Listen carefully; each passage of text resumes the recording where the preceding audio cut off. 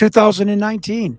I put the pedal to the metal and started an investigation, uh, totally journalistic uh, credibility and, and, and methodology to study this film who simply find if it was real or a hoax. And if it was a hoax, did Hollywood do it or the government do it? There are so many examples of just blatant lies by the government. They do do magic. And that's when I started the deep dive into this into this completely bizarre uh, film, of uh, this 2 minute 56 second film of a uh, alleged interrogation, a thought project, projection, questioning of an off planet being, an EBEN, E B E N, extraterrestrial biological entity. And for five years, with the help of military intelligence insiders, with the help of uh, uh, UFO experts, I, I, believe, with all journalistic uh, credibility, that I have solved the provenance uh, of this film.